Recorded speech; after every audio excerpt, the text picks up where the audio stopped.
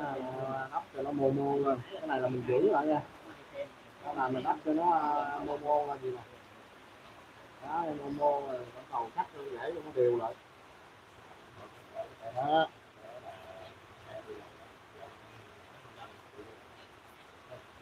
Đặt cây vô. Làm cho cố định lại. Cao lên chút Rồi thấp để để mô nó cao lên chút cái làm hơi thấp rồi. Cho nên là cái mô này nó hơi cao lên tí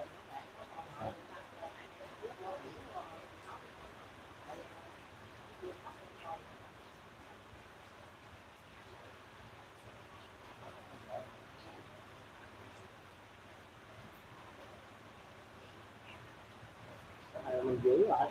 Đó là thái quá thì tôi à, tôi chú anh chị mình cắt bỏ bớt. Bớt thôi nè. À, bớt để cho nó nuôi cái à,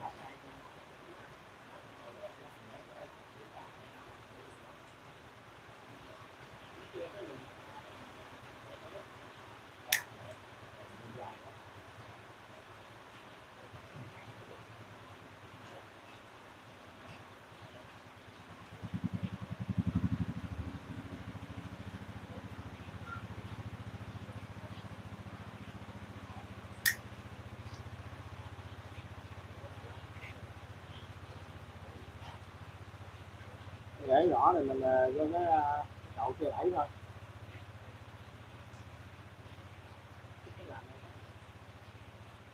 Cái chuyện ờ, ấy làm cho nó có một cái u để vô cho cái cái này nó nó nó nó, nó theo cái chiều xuống. Hồi xưa là mình trồng đó thì lúc đó mình ấy sao? Đó mình nắp mô sao? Là mình giữ lại phải giữ lại phải một tháng nửa tháng, một tháng mới vô luôn. Con cây nó xanh nó ấy lại, để nó nó ấy lại nó vô luôn.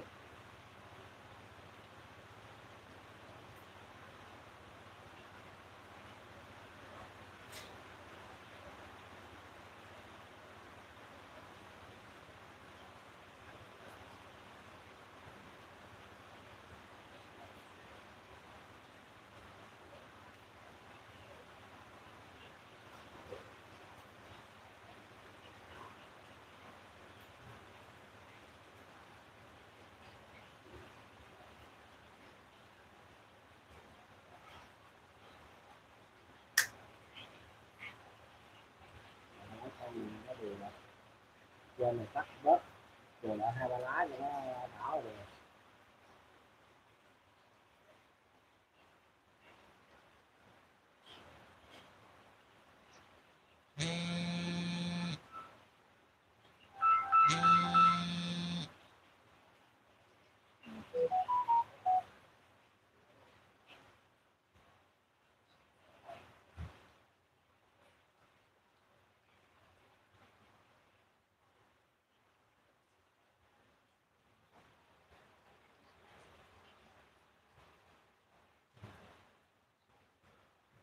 Mưa bão quá.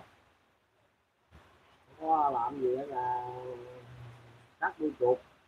Ờ, đợt rồi cái lượng ờ, mai đợt rồi có mũ cung cấp ra mà anh chị em nữa là, cũng có một số khách ta dặn. Ờ, để mưa quá ở nhà cắt đuôi chuột giữ lại để giao ra khách.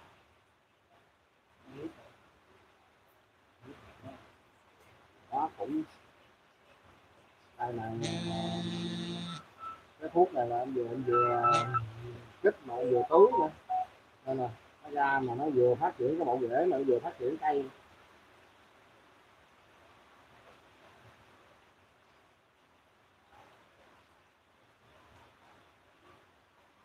Em nào có đam mê thì cứ à, cứ ở em. Anh em mình chia sẻ kinh nghiệm với nhau. Nói chung là em làm cũng à, mai này em làm à, cái loại thuốc này em làm hôm nay nó cũng đạt ừ, tôi còn là ăn được 80 90 phần trăm rồi. Rồi anh em nào mà có ấy thì ờ, có số điện thoại em để dưới phòng bình luận đó. Cái alo em à, hướng dẫn cách sử dụng rồi anh em chia sẻ nhau rồi kinh nghiệm